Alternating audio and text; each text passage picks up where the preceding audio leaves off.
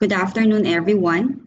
It's my pleasure to share with you our study on the gender disparities in social protection coverage, particularly social, social insurance.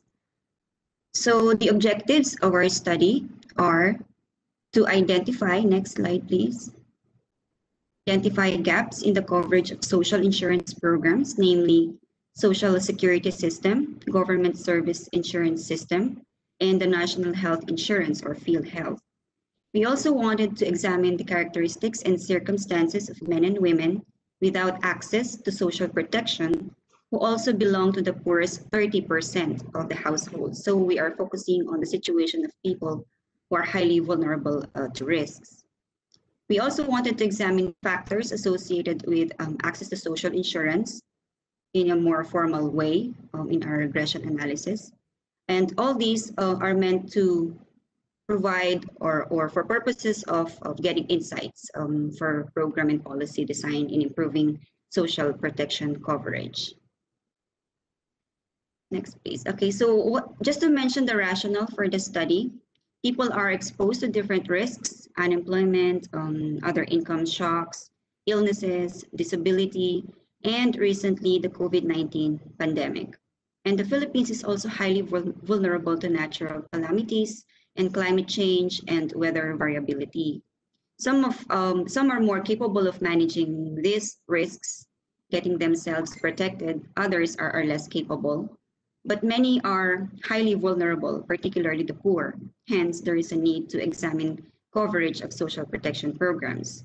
And our focus in this report are gender disparities in the, the coverage of these uh, programs. Please note that we also um, limited our analysis to social insurance coverage um, on membership in the insurance schemes that we that we have that I have mentioned a while ago. So why gender disparities? Um, previous work noted the disadvantaged position of women relative to men. Many of them are not in the labor force, as mentioned a while ago by our president. And because of this, many are not formally employed, which is the usual and relatively more sustainable channel uh, for obtaining social insurance and other benefits. And um, we know from literature that helping women is associated with holistic development when women are empowered, when they are provided benefits, um, when they're when they're protected, they're more likely to invest in proper nutrition, education, and healthcare for their children. Meanwhile, men, particularly in the Philippines uh, social context, are traditionally the breadwinners um, and heads of the family because social norms dictate that women do most of the care work um, at home, the family relies heavily uh, on the male head to provide for the family. It is therefore very important to understand both their circumstances and develop insights for improving um, their situation as far as social insurance is concerned. Next, please.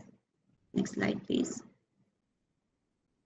So um, this is basically a descriptive analysis with some correlational analysis, as I've mentioned a while ago, and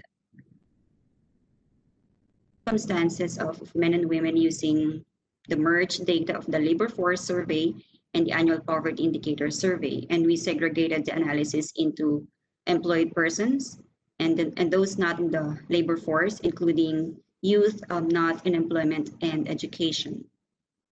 And as I've mentioned earlier, we, we conducted more formal uh, regression analysis for, for the correlates of social insurance membership. Please. Okay, so I am a graph here titled Composition of Non-Members. Non-members meaning that they don't have SSS or GSI, GSIS and PhilHealth, whether whether it's a paying scheme or the, the sponsored scheme. So I'm showing the, the composition of non-members by employment status, um, the employed, unemployed, and not in the labor force. I would just like to describe um, the graphs more um, for the benefit of our audience who may have um, visual uh, impairment. So what is shown in this graph um, are the compositions of persons who do not have the, the membership. And I'm, I'm illustrating through this graph that we need to examine more deeply the employed persons and those not in the labor force because these two comprise the bulk of non-members. So male workers, we estimated that there is at least 10.6 million employed men who are non-members. When I say non-members, they do not have both um, scheme. They're not members of, of both schemes. So apart from the 10.6 million male workers, there are 1.1 million men who are not in the labor force and some 800,000 who are unemployed. For the women, we estimated that there were at least, um, and this is for 2017 data or 2017 estimates, there were um, 6.4 million employed and another 6.7 million not in the labor force and around half a million unemployed who are non-members. So you can see the two big groups um, are employed and the not in the labor force because um, the unemployed takes a, a small proportion. In total, there were at least 26 million persons aged 15 to 59 who are non-members, and this represents 56% of the population of interest. Note that this figure does not include the segment of, of economically inactive persons who were currently in school, so we, we did not include those. So the graph shows that 65% of all non-members are employed, were employed, while 30% were not in the labor force. In terms of composition by sex, majority or 52% of the non-members were women. Note that for men, the bulk of non-members were employed, while that for women comprised of employed and those not in the labor force.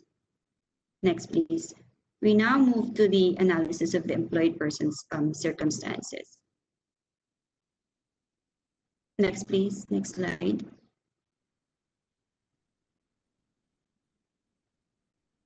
Okay, so we are showing you in this graph the composition of workers by class, regardless of their membership or, or access to social insurance so that we have first an, an understanding of the general composition of workers. It is important to, to have, that, have this in mind as we go to the other results later on.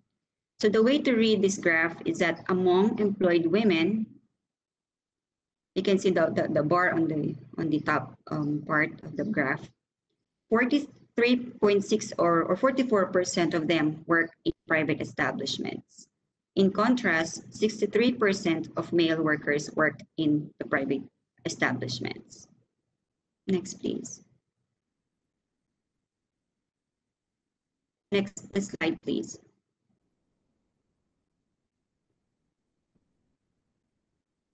Can, can we show the next slide? Thank you. Okay, so this next graph shows the composition of employed who are non-members.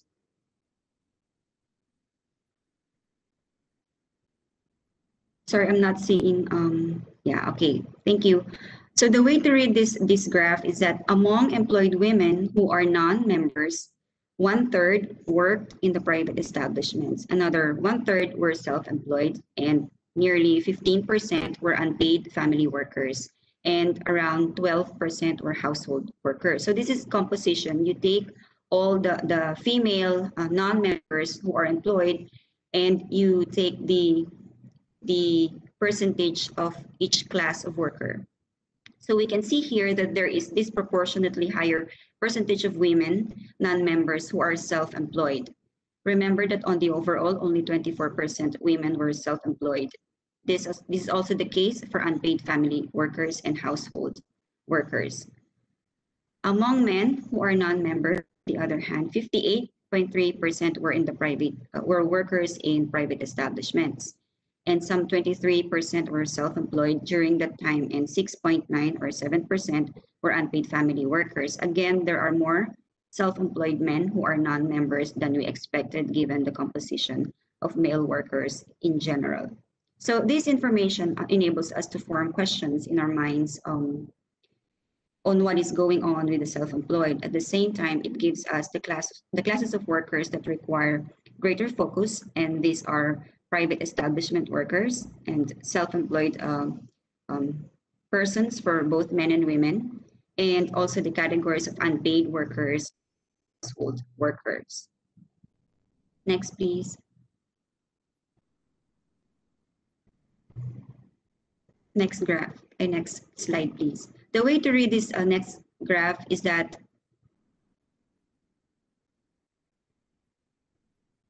Thank you. Okay, so this graph um put here employed non-members in bottom 30%. So in this graph, we would like to show you that um, among um, the employed non-members who are living um, or in households that are part of bottom 30%, um, what is the percentage of those workers in private households that that that belong in this category? For instance, um, the blue or the purple bars here um, pertain to male workers and then the blue bars pertain to female workers. So among male private household workers, 37% are not members and belonging to the bottom 30%. This is 43% for women and, and so on. And we can see that save for household workers, there are relatively more men than women who are in this difficult situation of being non-member and at the same time part of the poorest 30% uh, of, of households in the country. If we look at the biggest groups, private establishment workers and then the self-employed, men are worse off than women. This is also true for the other categories except among government workers where there is relatively um, the same proportion who are in this condition. Next, please. We now look at the circumstances of workers in greater details. Next slide, please. Okay, so this graph showed the proportion of men and women workers in private establishments who fall under these categories, a permanent job, a short-term, paid on daily basis, and so on. So we can see um, the, the pairs of bars, they're actually separated from each other because uh, we cannot we should not add these not these do not add up into like 100% or or, or something like that. We just wanted to show the difference between men and women in these categories. But um, let me point out that um, the workers in this uh, class of work um, and are facing this uh, difficult situation, eight out of 10 of them are in fact men. As for the characteristics, both groups, that is men and women, reported that many of them, nearly 70, uh, yeah, okay, thank you, nearly 70% are paid on a daily basis. Half noted their jobs are permanent though. Slightly more women than men are on short-term job arrangements. There are two times more men than women who want more hours of work. And it is noteworthy that more men have other jobs and that they are getting paid more than women. Next, please. For the self-employed, we learned that men were usually in the agricultural sector, while the women are in small retail businesses um, like the sari-sari stores and personal uh, services like um, the, the manicurists, um, um those working in salons and the spa. Again, we can see here that more men have um, other occupation trying to augment their livelihood and this intention is also evident as more men want more hours, hours of work. And although we cannot um, make uh, the comparison in this graph, um, self-employed women wanted more uh, work, wanted more hours of work than other categories of female workers, um, which suggests that they want to augment their earnings. Next, please.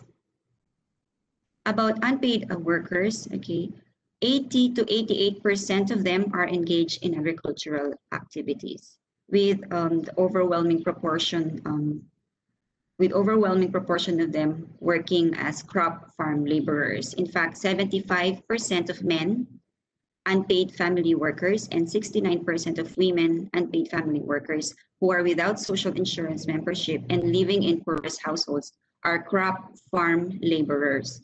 For men, half of their um, household income on the average come from agriculture, which indicates the seasonality of their farming activities because they, they get some income from non-agricultural activities.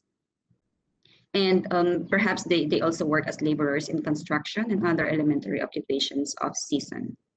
Interestingly, nine out of 10 male unpaid workers are single and young.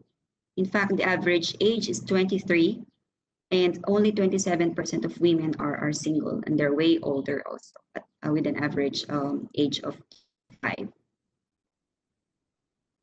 Next, please. So this graph shows the government workers. So among government workers, when I say government workers, I don't um, just limit it to all the the regular uh, government workers. It's actually workers for the government. This include the voluntary health workers, um, the janitors, the, the street sweepers. So there are slightly more women who reported that they hold permanent jobs, but despite these, the bulk are paid with commission. As you can see on the left um, left bars there, the commission-based um, workers.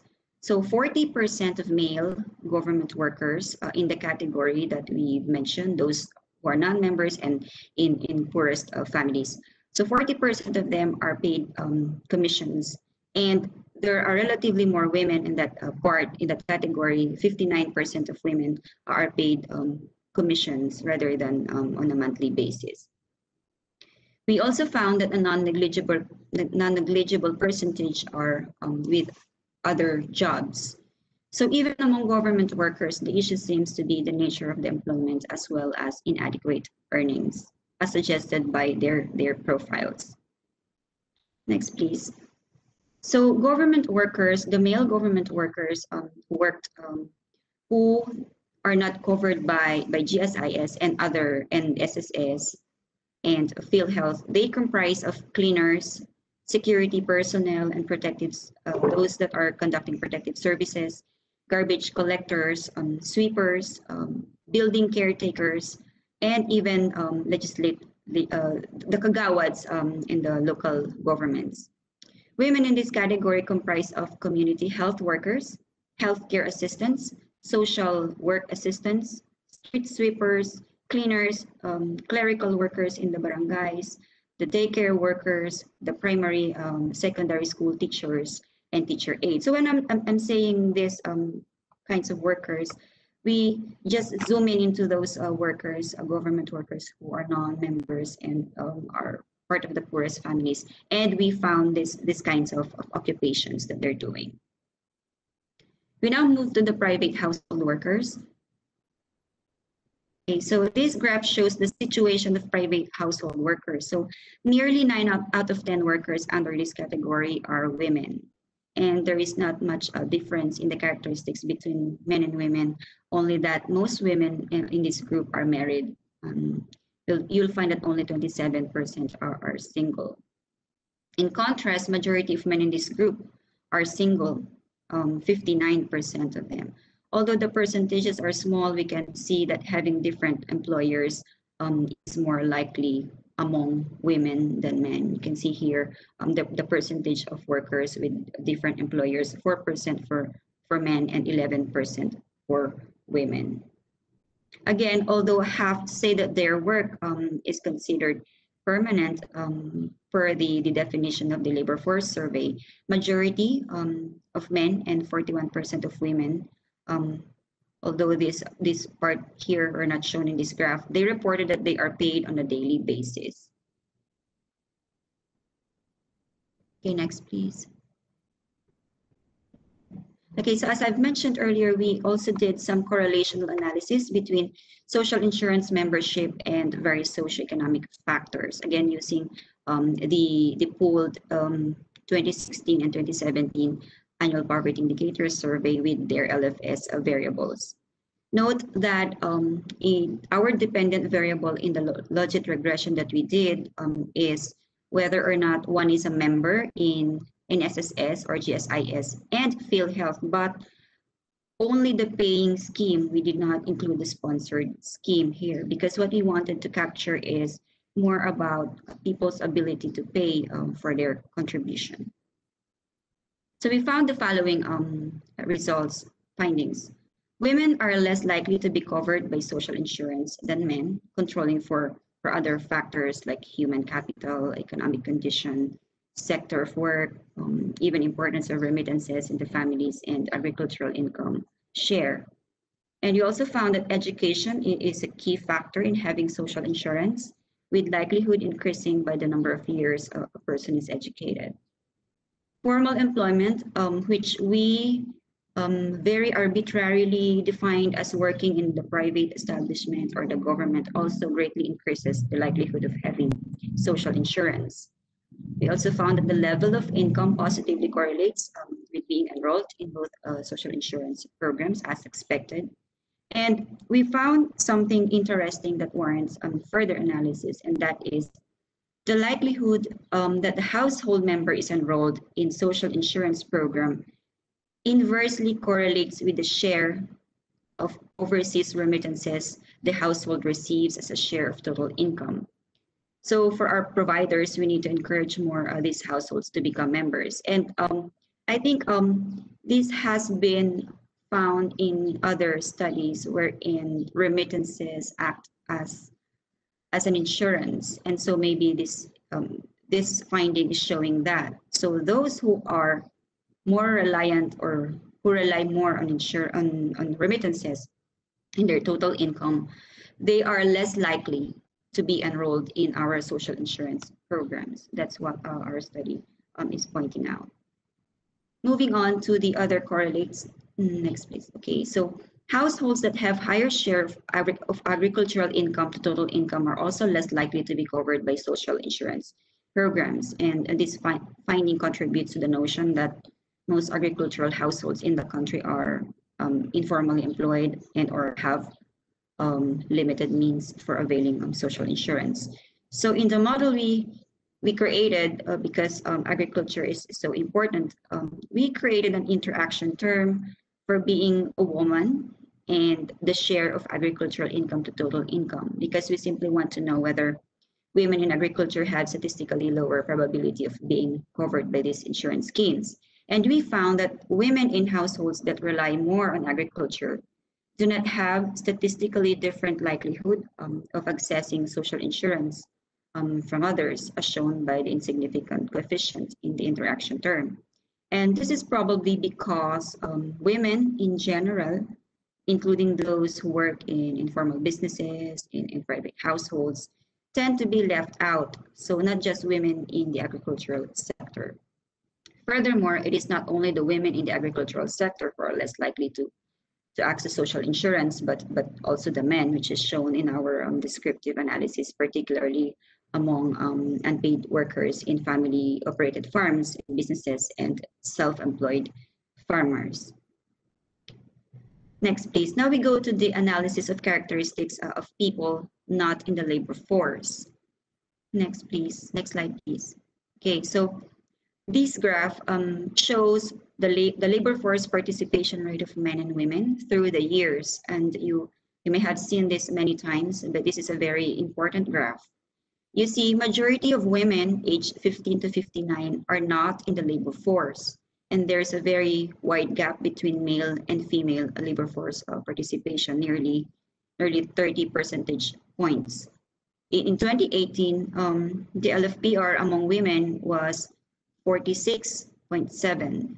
Um, this is based on, on, data from the, the PSA, basic data from the PSA. Um, and that of men is 75.3. To compare this with our neighbors, uh, neighboring countries, the female, the female LFPR um, in 2018 for Singapore is 61%. Um, in Vietnam, it's 72.7. That's for 2019. And Indonesia, uh, although it has lower um, LFPR um, compared to these countries I've mentioned, they still have a bit higher um, than ours at 53%. Next, please. Next slide, please. Okay, so using the data in our study, we tried to profile men and women who are not in the labor force with respect to their individual and household characteristics. And we found that Majority of men um, are single or were single, while majority of women not in the labor force were married, but these women um, have worked at any time prior um, to their situation, which um, reflects again the circumstances of women being home-based, doing household work, care work, and traditional roles. We also found that women were living in families that have relatively um, lower per capita income than their male counterpart, so these women not in the labor force, many of them um, were in the difficult situation. Um, these they are not dependents of, of, of families um, doing nothing. Many of them had prior work experience, as I've mentioned, and, and I argue that uh, they may have been stalled um, by their traditional roles um, in the family, and many of them are, are highly vulnerable to risks and shocks uh, indeed. Next, please. In this graph, um, I'd like to show you um, the youth not in employment and education. It should be NEET, N-E-E-T, uh, not in employment, um, education, or training, but we don't have um, a data or a variable for training in the, the data that we are, are using. So the NEE youth, um, they, are, they are neither working nor in school. So we define here youth as those aged 15 to 24. And it is very important that we look at this in our effort to, to more broadly understand access to social protection because there may be a historical aspect in terms of the lives of, of individuals that we can learn from that will help us understand more about their economic inactiveness. So for many women, being inactive starts early. You can see from this graph the rate of being NEE among girls is nearly twice that of boys. It's, it's mirroring the, the LFPR. So in 2017, 28.5% of girls in our category, in our category, while only 15.2% of boys are considered NEE or not in employment um, or education and education. So they're neither in school, they're, they're not working. Now, um, later I have a hypothesis about this low NEE rate among boys. A low rate is ideal, but we need to know what kinds of work these young men are probably doing and how um, this is connected to their access to social insurance. Next, please. Next, okay, so so the NEE rate has two elements in it, um, not in school and not in employment. The not in, in employment part is largely being not in the labor force rather than um, unemployment. For the schooling part, we examined reasons for not attending school to better understand what is happening to boys um, and girls. And the most common reason, and this, by the way, um, came from uh, the study of David, um, Albert, and Vizmanos 2018, wherein they show that the most common reason for girls um, for being um, not in school, with 38 of them identifying such reason is related to marriage or family matters, which reflects um, that early marriage and girls' traditional role in the family limit their ability to develop their skills and talents, and consequently their employability marriage um, and fa or family matters is also a reason for 15% of boys, but this is uh, this percentage is not even half that for girls.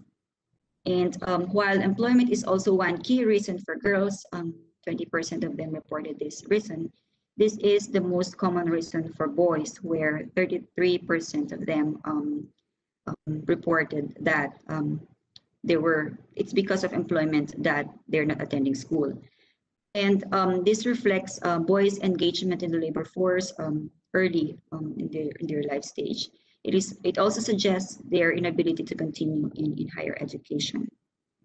And note that a significant proportion of boys, 34%, um, signified lack of interest, which may be due to, to peer influence and relatively poor academic performance, and also because of financial issues um, per uh, the study of, David et al. Next, please. We also examined school participation among children, and here we look at the case of 4Ps families because these are highly uh, vulnerable um, group groups.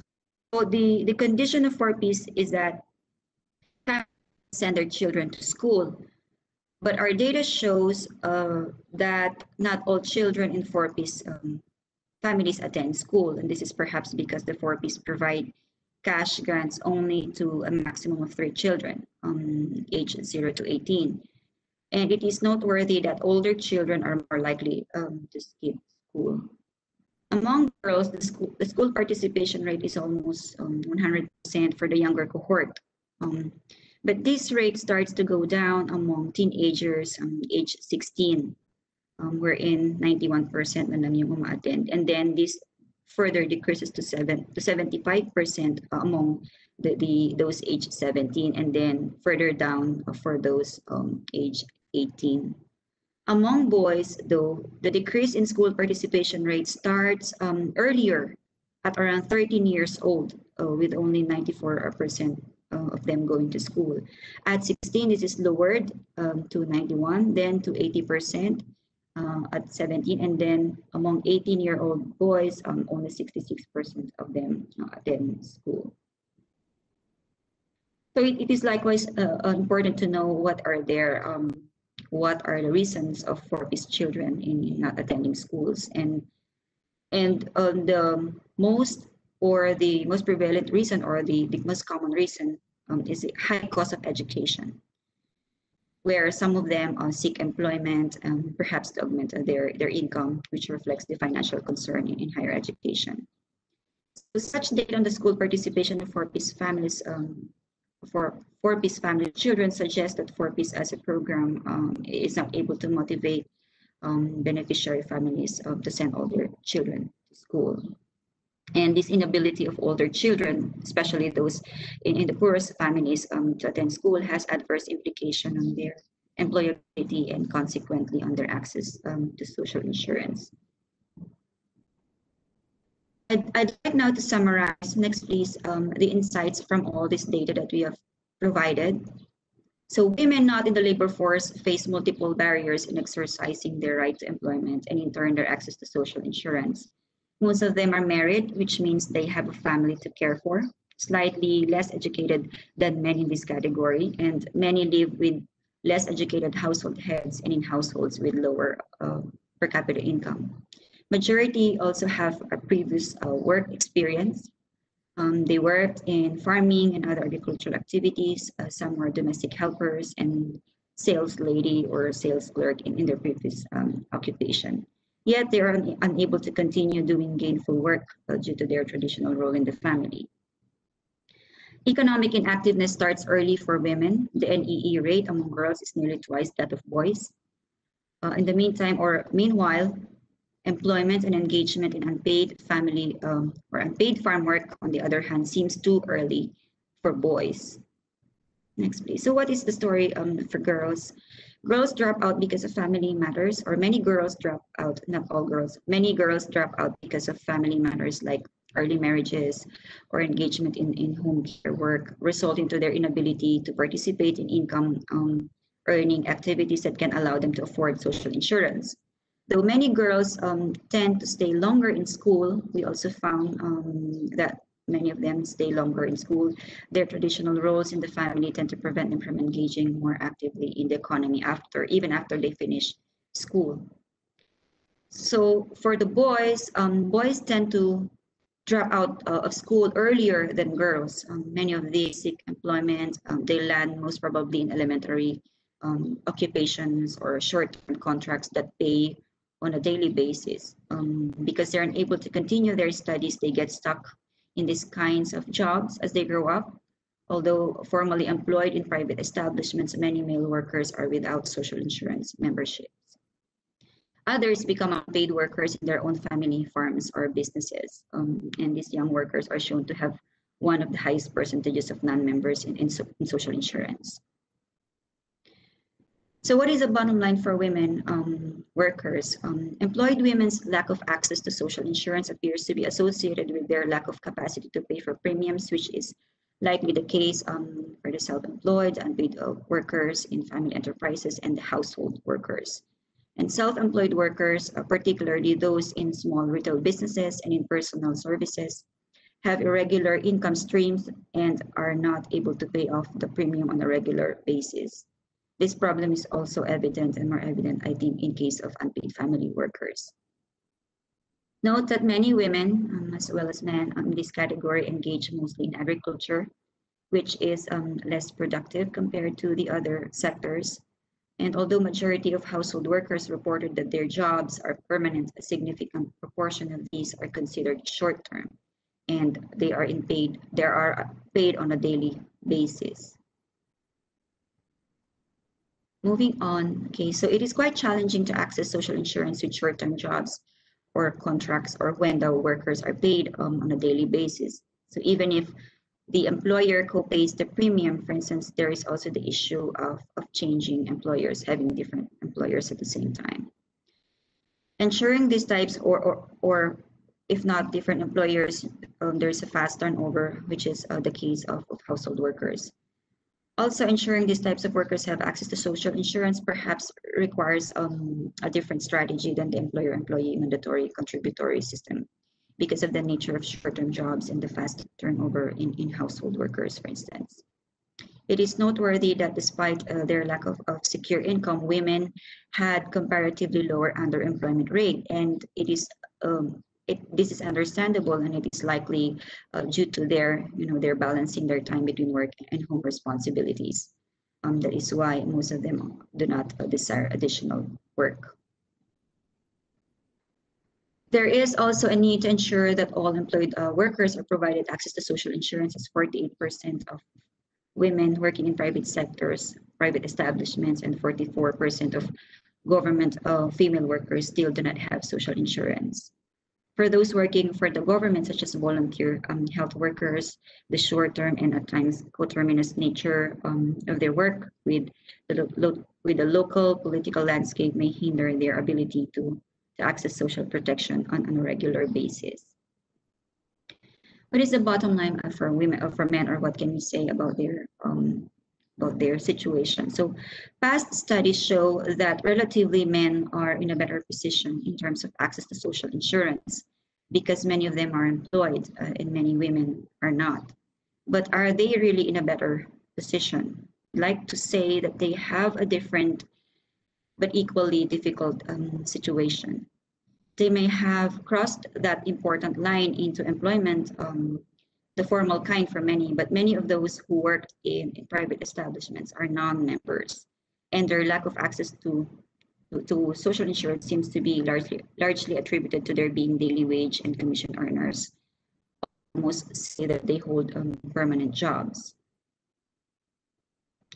So they are permanent um, and others in short-term jobs that do not have security of tenure but not only that, that is just part of the whole uh, scenario. They also have very low basic pay.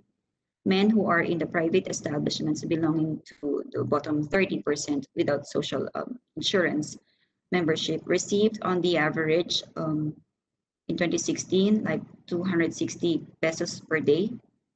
And very few of them have other income sources. Uh, only 8% have other jobs because they were already working or spending 42 hours a week in their primary occupation. So apart from the nature of employment, it's also about the amount of income that they get uh, from their uh, employment.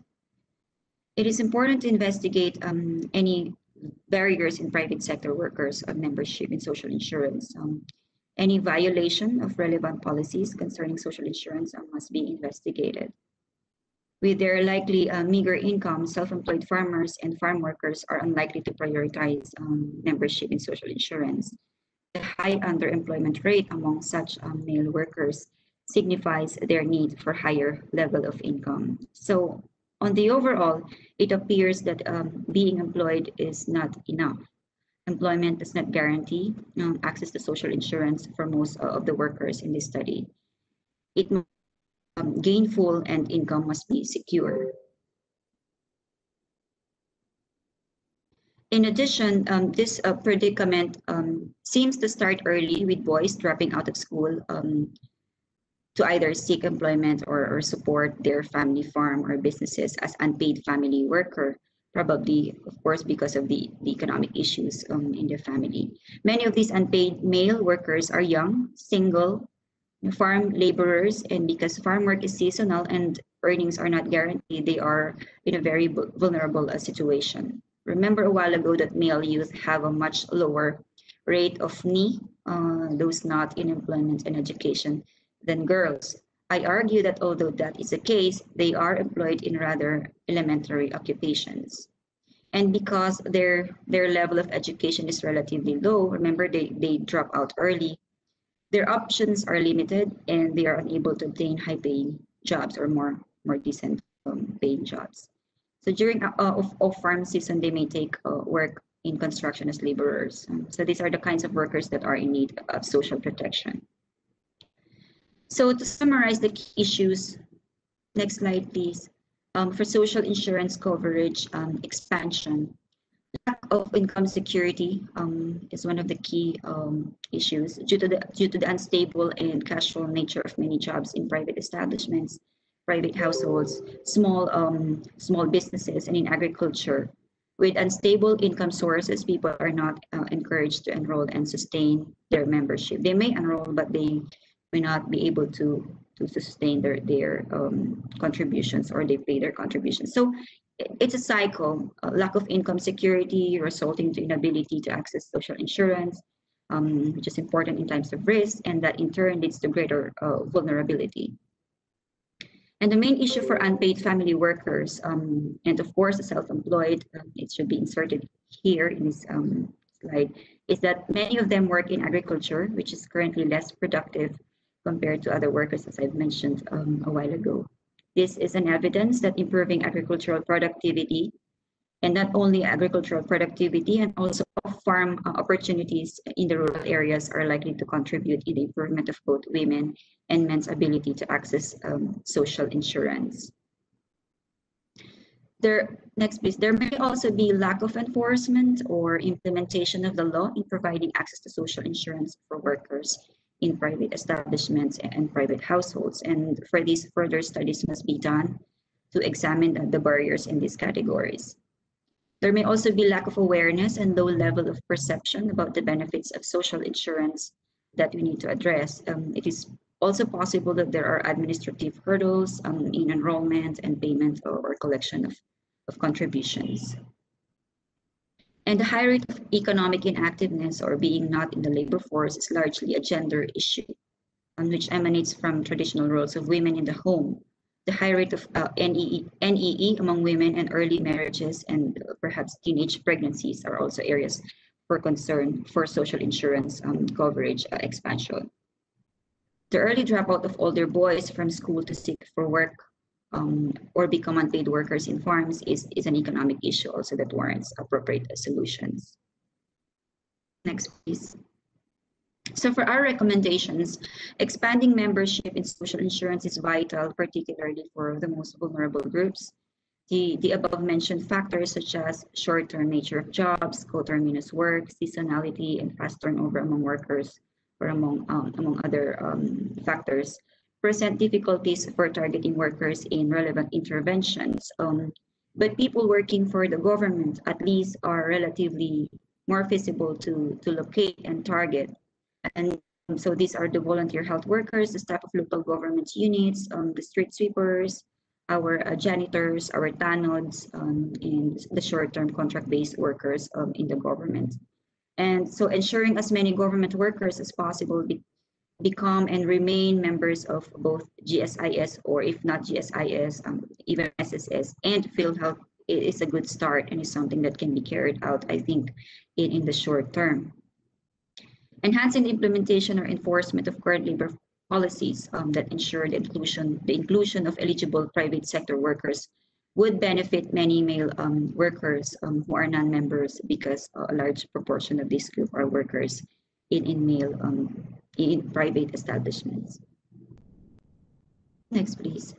Okay, so interventions that seek to improve women's access to social protection must prioritize those in agricultural sector, the self-employed, the unpaid family members, and the household workers. Informal workers may be reached through non-government uh, organizations and the social entrepreneurs working with them. Also, relevant government agencies and local governments must partner uh, with these bodies for a more proactive promotion of social insurance uh, to these workers. NGOs, for instance, can be um, instrumental um, in facilitating access through information and education programs, referrals, and, and documentary assistance for, for women. Excuse me.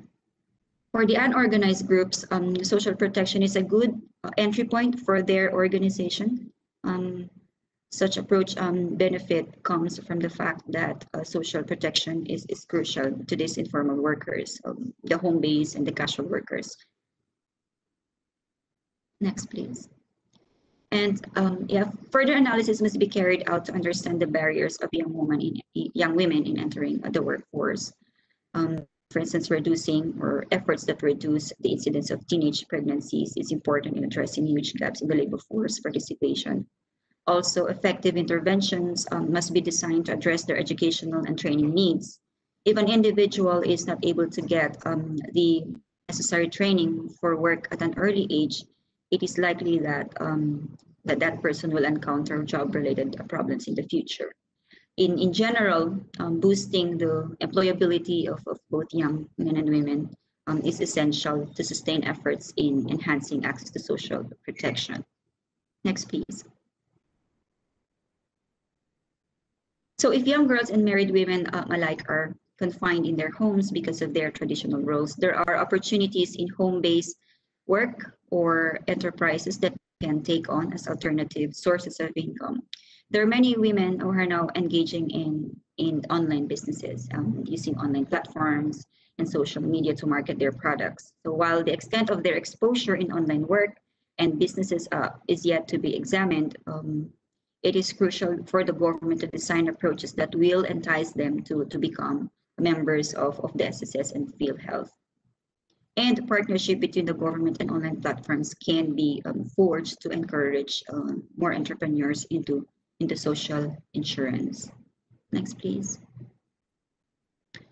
Efforts that facilitate and improve um, their access to home-based income opportunities as well as relevant um, skills must therefore be, be implemented. Notably, there are young adults, um, both men and women, who are neither in education or employment with relatively high education. So it is important. So not all the NEE um, um, are, are, are without education or marami din sa kanila. So they also have, there are also those who are not in education nor employment with relatively high education. And it is very important to, to create an environment that encourages them to participate more actively um, in the economy. And impediments, administrative or otherwise, sorry for too many texts, but it's, it's really important that I, I really provide all these recommendations. Impediments, uh, administrative or otherwise, toward expanding membership must be carefully examined uh, and addressed.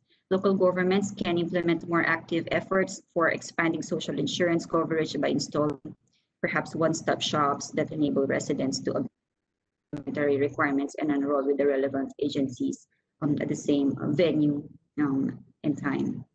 Other difficulties, such as in terms of, of, of payment or enrollment or collection of contribution, especially by members in remote areas, must also be examined and um, um, improved on.